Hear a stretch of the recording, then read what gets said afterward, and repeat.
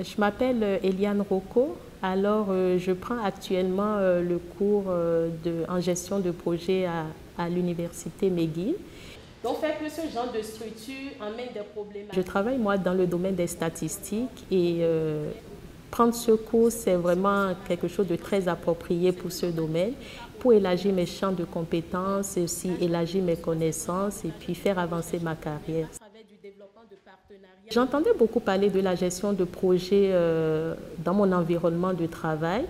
Et euh, c'est ça, par curiosité, j'étais allée sur euh, Internet et j'ai vu que c'est un cours qui était offert à McGill. Et je me suis dit, pourquoi pas, c'est le moment de me lancer, d'aller prendre ce cours à McGill, une université que j'avais encore jamais fréquentée. C'était pour moi aussi une occasion de venir là, de voir comment euh, la formation se donnait déjà avant tout et puis de me l'approprier dans le domaine de la gestion de projet.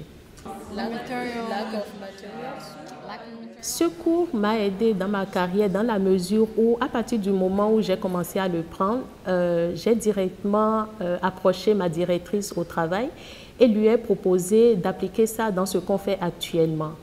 Et ce qui s'est passé, c'est que j'ai une gestionnaire qui est très ouverte, donc elle a vraiment accepté que nous fassions comme cette expérience d'utiliser la gestion de projet euh, dans mon travail.